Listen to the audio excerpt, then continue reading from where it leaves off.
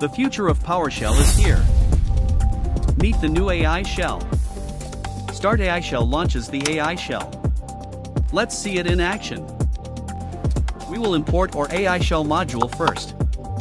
Let's start it up and see how it works. Start AI Shell. This launches an interactive environment that brings AI assistance directly into your PowerShell terminal. We will use OpenAI, but you could also configure Azure AI. Let's run the AI-generated CPU monitoring script. We will format the output to only two decimals. You can also ask questions like, explain this error message or explain me the results of the last command. The script was generated, let's copy-paste it into our PowerShell window. Start using Start AI Shell today and take your PowerShell productivity to the next level with AI. Subscribe to our channel for more PowerShell tips and tricks.